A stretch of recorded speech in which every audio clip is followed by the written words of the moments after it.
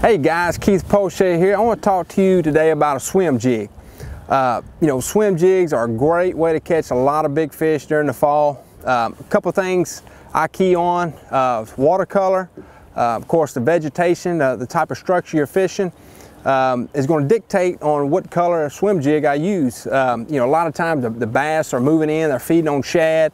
Um, so, you know, having that combination of a, of a swim jig that imitates a shad going through the grass, that time of the year, the grass is up, a lot of grass mat, so uh, you want to kind of focus on ambush points. Um, so if the water's fairly decent uh, clear wise, I'll start off early in the morning. If, it, if it's low light, something kind of white, um, you know, something bright they can really see. And I'll fish it throughout the day as well, especially if it's cloudy, uh, something like that. It's always just a, a, a good combination uh, that looks like a shad. I got a little old grub on the back with a little extra action. But I'll throw this thing as far as back in that, in that mess as I can and I'll just pop it out. Sometimes I'll swim it, but I want to pop it, let it come out of the water, make some splash, make a lot of noise, get that fish's attention.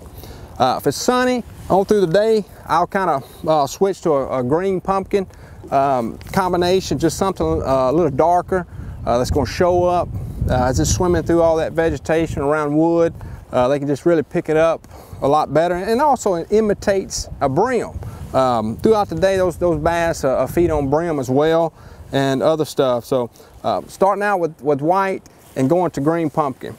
Um, if the water's a little bit more stained, um, you know, back of a creek or something like that, back of some pockets, um, it's more, um, you know, maybe a foot visibility, you know, six inches. I'm gonna go to a, a black and blue, maybe with a little orange in it, um, black and blue trailer, something they can really see in that dingy water uh, there again, I'm, I'm swimming it down a grass edge, I'm popping it out of the water, making it real erratic. You know, I'm, I'm twitching the end of my rod. That's real key uh, to getting those bites a lot of times. If you're just swimming it slow, a lot of times they just, they, it, won't, it won't trigger them to bite it.